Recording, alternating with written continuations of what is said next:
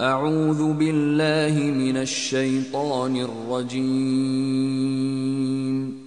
Bismillahirrahmanirrahim. Gerçek şu ki Allah Adem'i, Nuh'u, İbrahim ailesiyle İmran ailesini birbirinden gelen tek zürriyet halinde bütün insanlardan süzüp onlara üstün kılmıştır. Allah, semiyedir, alimdir. Her şeyi hakkıyla işitir, mükemmel tarzda bilir. Biz ona, İshak ile Yakub'u ihsan ettik ve her birinin nübüvvete erdirdik. Daha önce de Nuh'u ve onun neslinden Davud'u, Süleyman'ı, Eyyub'u, Yusuf'u, Musa'yı ve Harun'u da nübüvvete erdirdik. Biz iyi hareket edenleri işte böyle ödüllendiririz. Celalim hakkı için biz Nuh'u Resul olarak halkına gönderdik. Ey halkım dedi. Yalnız Allah'a ibadet edin. Ondan başka tanrınız yoktur. Bunu yapmazsanız korkarım ki müthiş bir günün azabı tepenize inecektir. Halkının söz sahibi yetkilileri biz seni besbelli bir sapıklık içinde görüyoruz dediler. Ey halkım dedi. Bende hiçbir dalalet yok. Fakat ben Rabbül Alemin tarafından size bir elçiyim. Size Rabbimin mesajlarını tebliğ ediyorum. Size öğüt veriyorum ve Allah tarafından gelen vahiy sayesinde sizin bilemeyeceğiniz şeyleri biliyorum. Kötülüklerden korunup Allah'ın merhametine nail olmanız için içinizden sizi uyaracak bir adam vasıtasıyla Rabbinizden size bir buyruk gelmesine mi şaşıyorsunuz? Onlar Nuh'u yalancı saydılar. Biz de onu ve yanında olanları gemide kurtardık. Ayetlerimizi yalan sayanları ise boğduk. Çünkü onlar basiretleri körelmiş kimselerdi. Sizi başınıza gelebilecek tehlikeler hakkında uyarmak için sizden birine Rabbiniz tarafından bir tebliğ gelmesine hayret mi ediyorsunuz? Hatırlayın ki o sizi Nuh kavminden sonra onların yerine geçirdi ve sizi bedenen güçlü kuvvetli, gösterişli kıldı. O halde Allah'ın nimetlerini unutmayıp zikredin ki felah bulasınız. Kendilerinden önce gelip geçmiş milletlerin başlarına gelen olaylara dair haber onlara ulaşmadı mı? Nuh kavminden, Ad, Semud ve İbrahim kavminden, Medyen halkından ve şehirleri yerle bir edilen toplumdan haberdar olmadılar mı? Onlara peygamberleri açık deliller getirdi ama inanmadılar. Bundan dolayı Allah'ın gazabına uğradılar. Ama onlara Allah zulmetmedi. Lakin onlar kendi kendilerine zulmediyorlardı. Onlara Nuh hakkındaki haberi oku. O halkına, ey benim halkım dedi.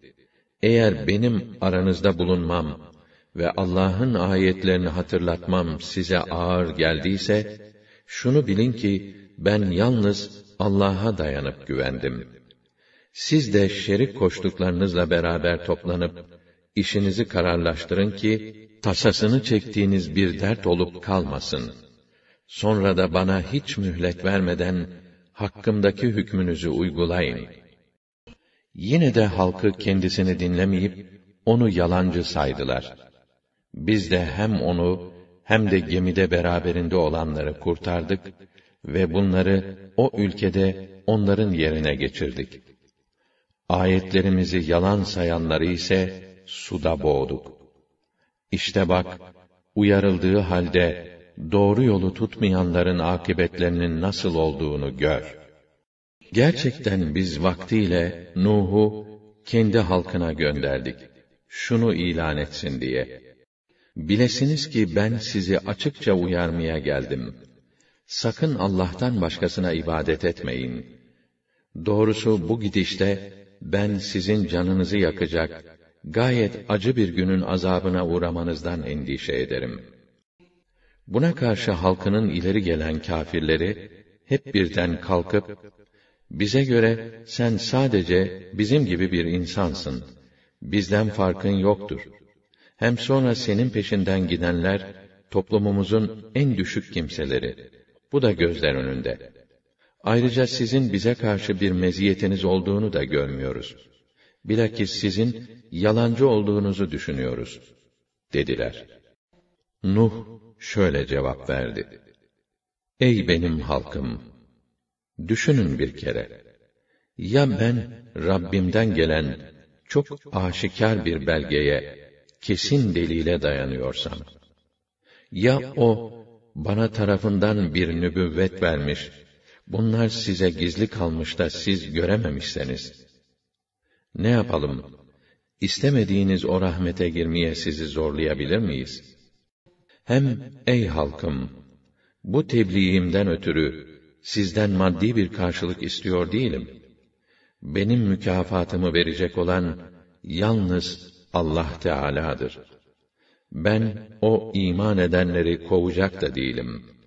Elbette onlar Rablerine kavuşacaklar. O da onları imanlarından dolayı ödüllendirecektir. Ama ben sizin cehalet içinde yuvarlanan bir toplum olduğunuzu görüyorum. Ey halkım! Ben onları kovacak olsam, Allah indinde bu sorumluluktan beni kim kurtarabilir? Kim bana yardım edebilir? Artık bir düşünmez misiniz? Ben size, yok Allah'ın hazineleri benim elimdedir. Yok ben gaybı bilirim. Yok ben bir meleğim demiyorum. Hor gördüğünüz müminlere Allah hiçbir hayır, hiçbir meziyet vermez de demem. Allah onların içlerinde olanı pek iyi bilir. Böyle bir şey yaptığım takdirde ben elbette zalimlerden olurum. Ey Nuh dediler. Bizimle mücadele ettin. Bu mücadelende de hayli ileri gittin. Yeter artık. Eğer doğru söyleyenlerden isen, haydi bizi tehdit edip durduğun o azabı getir de görelim. Nuh cevap verip dedi ki, onu dilerse ancak Allah getirir ve onun elinden siz asla kaçıp kurtulamazsınız. Nuh'a şöyle vahyolundu. Artık halkından daha önce iman etmiş olanlar dışında hiç kimse iman etmeyecek. Öyleyse o kâfirlerin yaptıklarından dolayı kederlenme de. Bizim gözetimimiz altında ve vahyimiz doğrultusunda gemiyi yap. Ve o zalimler lehinde benden hiçbir ricada bulunma. Çünkü onlar suda boğulacaklardır.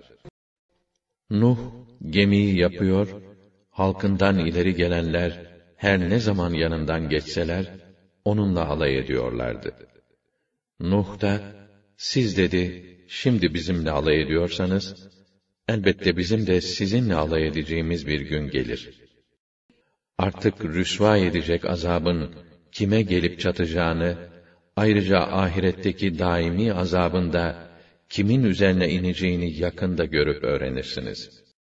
Nihayet emrimiz gelip de tennur kaynadığı zaman Nuh'a dedik ki: Her hayvan türünden erkekli dişili ikişer eş ile haklarında helak hükmü verilmiş olanları hariç olmak üzere aileni bir de iman edenleri gemiye al. Zaten beraberinde iman eden pek az insan vardı.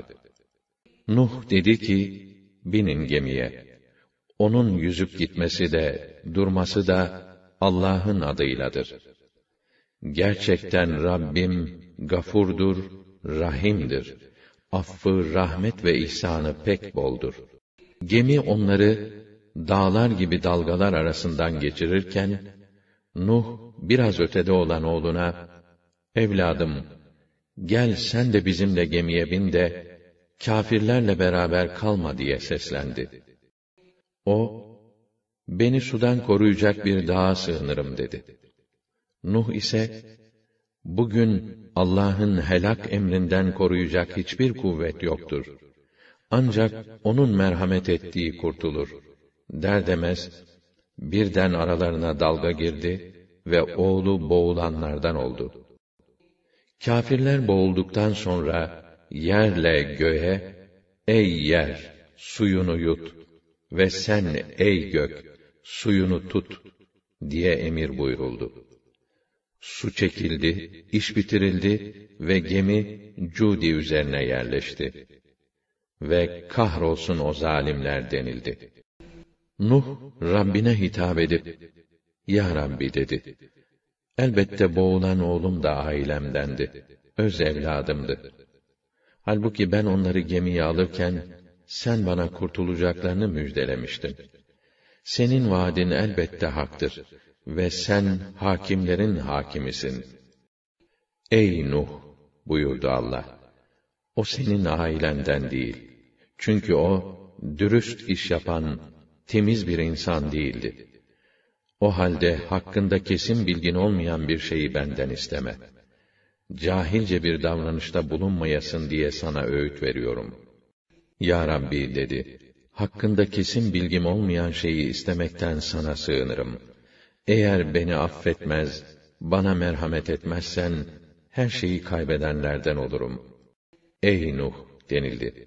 Sana ve beraberinde bulunan mümin topluluklara, bizim tarafımızdan bir selamet ve çok bereketlerle gemiden in.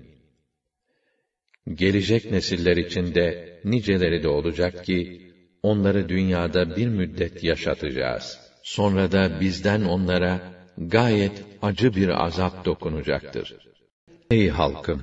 Bana muhalif olmanız, sakın sizi Nuh halkının yahut Hud halkının veyahut Semut halkının başına gelen felaketler gibi bir musibete uğratmasın. Lut kavmi ise zaman ve mekan bakımından zaten uzağınızda değil. Bari onların başına gelen felaketten ibret alın. Sizden önce gelip geçmiş ümmetlerin Nuh, Ad ve Semut halklarının ve onlardan sonra gelip de Allah'tan başkasının tam tamına bilemeyeceği halkların başlarından geçen olaylardan haberdar olmadınız mı? Elçileri kendilerine delil ve mucizeler getirdiler de onlar ellerini ağızlarına götürüp biz dediler sizinle gönderilen talimatları kabul etmiyoruz. Çünkü biz bize yaptığınız davetin mahiyetinden derin bir kuşku içindeyiz. Ey Nuh ile birlikte gemide taşıdığımız kimselerin nesli! Yalnız bana güvenip dayanın, bana şükredin. Şunu bilin ki, Nuh çok şükreden bir kul idi. Hem Nuh'tan sonra öyle nesiller helak ettik ki, saymaya gelmez. Kullarının günahlarını senin Rabbinin görüp bilmesi yeter. İşte bunlar, Allah'ın nimetine mazhar olmuş olan bu zatlar, Adem neslinden, Nuh ile beraber gemide taşıdıklarımızın evlatlarından, İbrahim ve İsrail'in nesillerinden ve hidayete erdirip seçtiğimiz kimselerdendir. Onlar, Rahman'ın ayetleri okunduğunda, ağlayarak secdeye kapanırlardı. Nuh'u da önderlerden kıldık. O İbrahim ve Lut'tan çok önce bize yakarmıştı. Biz de duasını kabul buyurup onu, yakınlarını, evlatlarını ve halkından iman edenleri büyük bir beladan kurtardık. Eğer onlar seni yalancı sayıyorlarsa sen bil ki onlardan önce Nuh, Ad ve Semud halkı da İbrahim'in halkı da Lut'un halkı da Medyen ahalisi de Resulleri yalanlamışlardı. Musa da yalancı sayılmıştı. Ben de şöyle yaptım. Her seferinde inkarcılara mühlet verdim. Sonra da tuttuğum gibi işlerini bitirdim. Onların inkarına mukabil nasıl olurmuş benim inkarım cümle alem görüp bildi.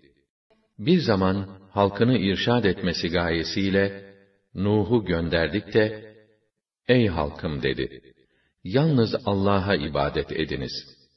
Zira sizin ondan başka tanrınız yoktur. Gerçek bu iken, hala şirkten sakınmaz mısınız? Halkından ileri gelen bir takım kâfirler, bu dediler, sizin gibi bir insandan başka bir şey değil. Böyleyken size hakim olmak istiyor. Allah bize mesaj ulaştırmak isteseydi, böyle sizin gibi bir insan göndermez, melaike indirirdi. Nitekim biz atalarımızdan da böyle bir şey işitmedik. Bu delinin tekinden başka biri değil. Ona biraz süre tanıyın. Sonra iş aydınlanır, siz de gereğini yaparsınız. Halkından ileri gelen bir takım kâfirler, bu dediler, sizin gibi bir insandan başka bir şey değil. Böyleyken size hakim olmak istiyor. Allah bize mesaj ulaştırmak isteseydi, böyle sizin gibi bir insan göndermez, melaike indirirdi. Nitekim biz atalarımızdan da böyle bir şey işitmedik. Bu delinin tekinden başka biri değil. Ona biraz süre tanıyın.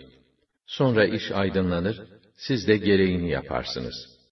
Nuh, Ya Rabbi, dedi. Beni yalancı saymalarına karşı, sen yardım et bana. Biz de ona vahyedip bildirdik ki, nezaretimiz altında ve bildirdiğimiz şekilde gemiyi yap. Buyruğumuz gelip, tandır kaynayınca, her cinsten birer çift ile, haklarında azap hükmü takdir edilmiş olanlar dışında kalan, aile halkını yanına al.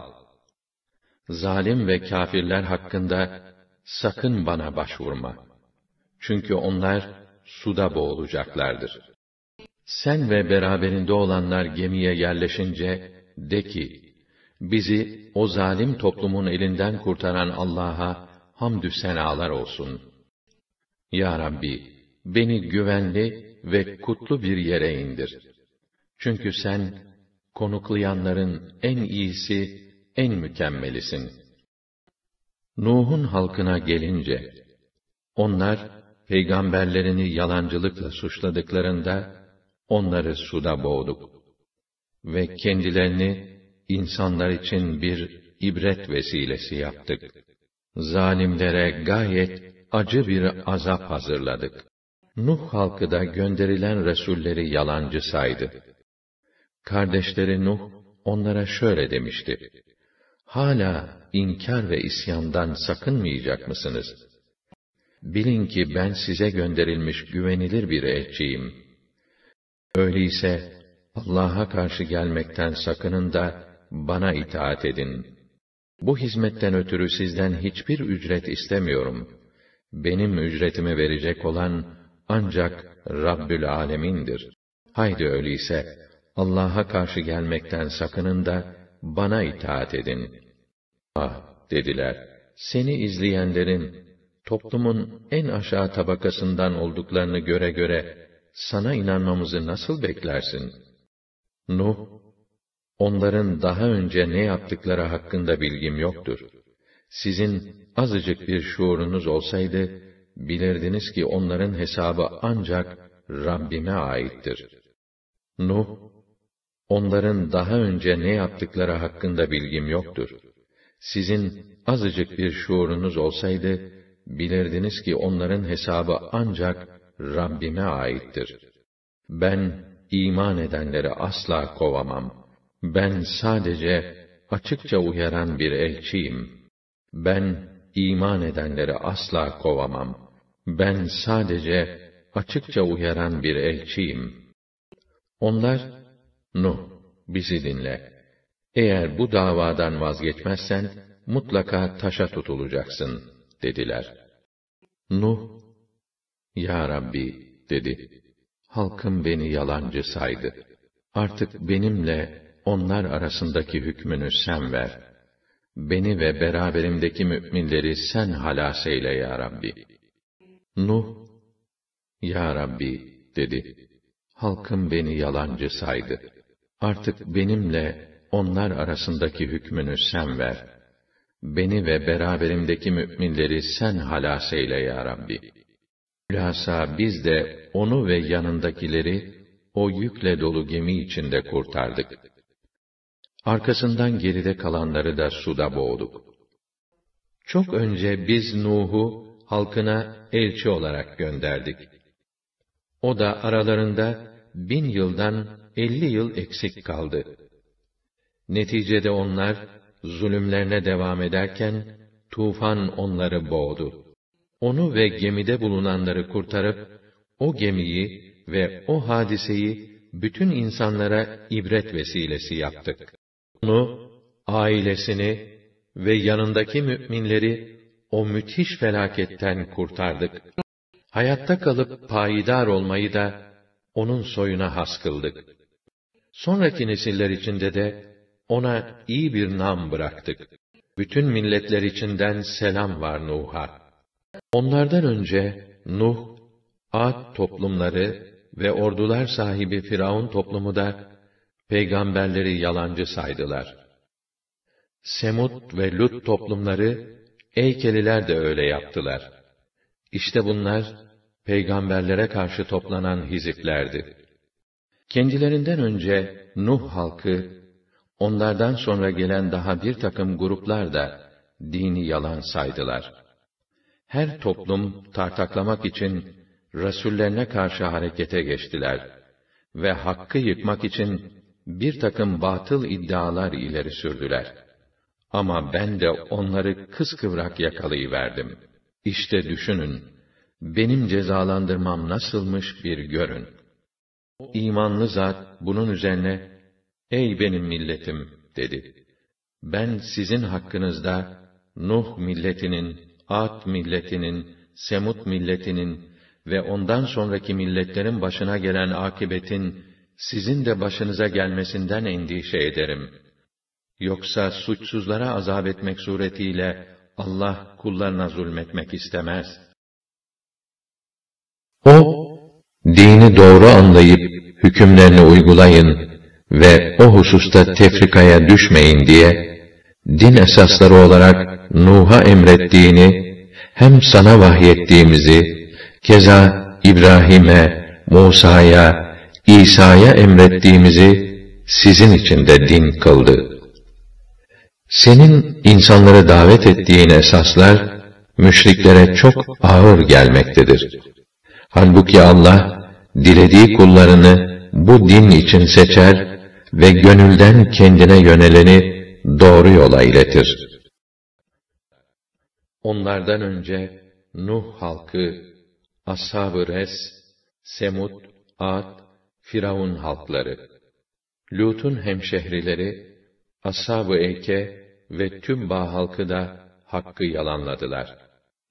Evet, onların hepsi peygamberleri yalancı saydılar da tehdidime müstehak oldular, azaba çarptırıldılar. Daha önceleri de Nuh halkını helak etmiştik. Çünkü onlar da din yolundan çıkmış kimselerdi. Rahime atılan nutfeden, spermden, erkek ve dişi çiftini yaratma, öldükten sonra diriltme, tekrar yaratma ona aittir. İnsanı zengin, kanaat sahibi ve halinden memnun etmek de ona aittir. Müşriklerin taptığı Şira yıldızının Rabbi de odur. Önceki Ad milletini yok eden de odur. Semut milletini yok edip geriye hiçbir şey bırakmayan da odur. Daha önce Nuh milletini yok eden de o. Çünkü bunlar çok zalim, çok azgındılar. Altı üstüne getirilen Lut milletinin şehirlerini yerle bir etti. Onları ne azaplar, ne musibetler, neler kapladı neler. Kendilerinden önce Nuh kavmi de peygamberi yalancı saydı ve bu delinin teki dediler. Onu incittiler, tebliğini engellediler. Yeri pınar pınar fışkırttık. Öyle ki her iki su kütlesi takdir edilen o işin olması için birleşti. Biz Nuh'u levha halindeki tahtalar ve çivilerle yapılmış gemiye bindirdik. O kadri bilinmemiş değerli insana bir mükafat olarak gemi bizim inayetimiz altında akıp gidiyordu. Biz Nuh'u, İbrahim'i peygamber olarak gönderdiğimiz gibi zürriyetlerine de kitap ve nübüvvet verdik.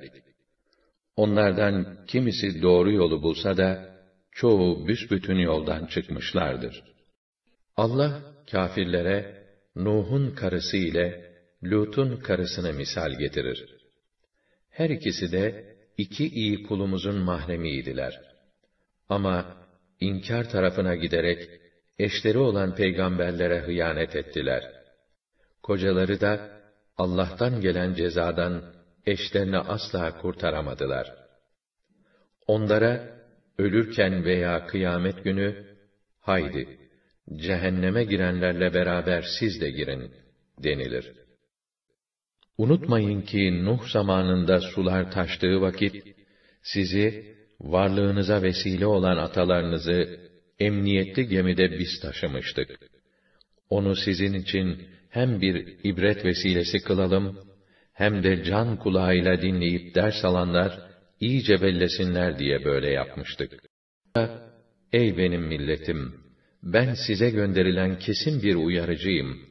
Şöyle ki, yalnız Allah'a ibadet edin, ona karşı gelmekten sakının ve bana itaat edin ki, sizin günahlarınızı affetsin ve sizi belirli bir vakte, yani ölüm anına kadar azap çektirmeksizin hayatta bıraksın. Çünkü Allah'ın takdir ettiği vade gelince asla ertelenmez. Keşke bunu bir bilseniz. O da, ey benim milletim, ben size gönderilen kesin bir uyarıcıyım. Şöyle ki, yalnız Allah'a ibadet edin, ona karşı gelmekten sakının ve bana itaat edin ki, sizin günahlarınızı affetsin ve sizi belirli bir vakte, yani ölüm anına kadar azap çektirmeksizin hayatta bıraksın. Çünkü Allah'ın takdir ettiği vade gelince asla ertelenmez. Keşke bunu bir bilseniz. O da, ey benim milletim, ben size gönderilen kesin bir uyarıcıyım.